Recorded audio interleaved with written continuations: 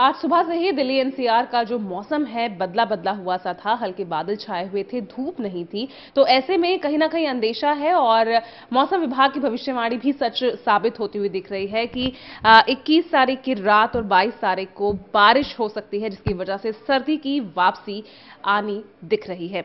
ऐसे में फ़िलहाल हमारे साथ मौसम विभाग के विशेषज्ञ हैं, डॉक्टर कुलदीप श्रीवास्तव। क्या कहना है उनका? मौसम के, इस बदलाव के पीछे क्या कारण है? तो सर, जानना चाहूँगी आज सुबह से जो बदला बदला मौसम दिख रहा था। क्या इसके पीछे कारण दिख रहा है?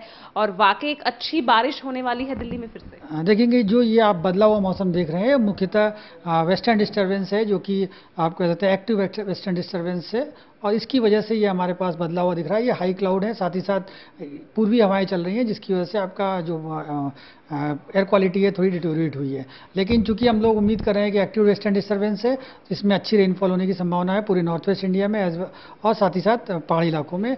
और जो दिल्ली एनसीआर का इलाका है, यहाँ पर आज रात में और कल सवेरे हमारे पास रेनफॉल की उम्मीद है। आज रात में हल्की बारिश होगी और कल हमारे पास मॉडरेट कैटेगरी की मॉर्निंग आवर्स में रेनफॉल हो सकती है। तो ये कह सकते हैं कि जो पॉल्यूटेंट है, वो डिस्पर थोड़े सेटल डाउन हो जाएँगे और एक एयर क्वालिटी में इंप्रूवमेंट आएगा। हालाँकि जो न्यूनतम तापमान है, जो आज ग्यारह डिग्री सेंटीग्रेड के आसपास है, वो भी कल हमारे पास ग्यारह के आसपास ही बना रहेगा।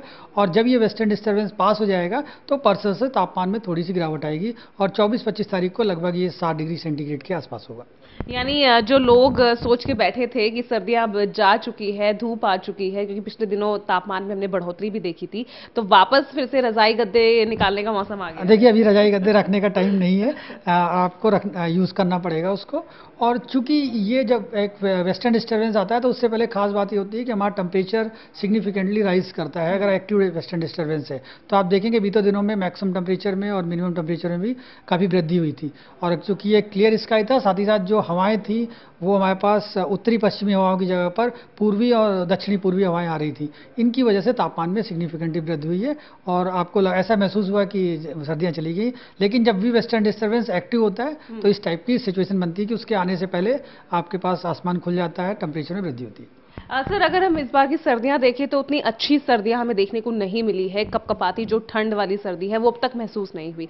तो क्या ये जो दौर हम देख रहे हैं वेस्टर्न डिस्टर्बेंस जिस तरह से आ रहे हैं रुक रुक कर, ये दौर आगे भी ऐसे जारी रहेगा या ये इस बार की आखिरी सर्दी जो हम बारिश के कारण जो ठंड महसूस करेंगे, वो आखिरी हो। देखेंगे जो हमारे पास मुख्यतः जो आप कह सकते हैं, ठंड पड़ी थी, वो दिसंबर के लास्ट टेन डेज़ में पड़ी थी, जिसमें मिनिमम तापमान का, आपका लगभग चार डिग्री सेंटीग्रेड के आसपास काफ़ी दिनों तक तो बना था। उसके बाद जो है, हमारे पास तापमान या तो नॉर्मल है या नॉर्मल से थोड़ा सा ही नीचे है तो उतनी ठंड इस साल हमारे पास नहीं पड़ी है।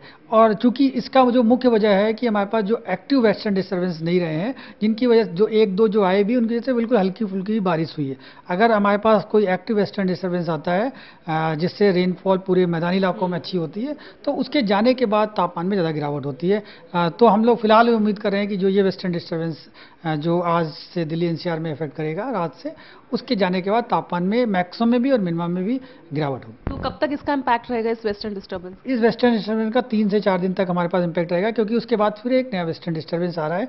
तो पच्चीस तारीख में भी हम लोग हल्की फुल्की बूंदाबांदी की दिल्ली एनसीआर में उम्मीद कर रहे हैं। चलिए बहुत बहुत शुक्रिया हमसे बात करने के लिए। तो यहाँ पर तैयार हो जाइए क्योंकि आज रात और कल सुबह बारिश की भविष्यवाणी मौसम विभाग ने कर दी है जिसके बाद फिर से दिल्ली एनसीआर में सर्दी की वापसी हो सकती है। कैमरामैन कपिल के साथ पूजा राठौर शर्मा टोटल न्यूज़ दिल्ली।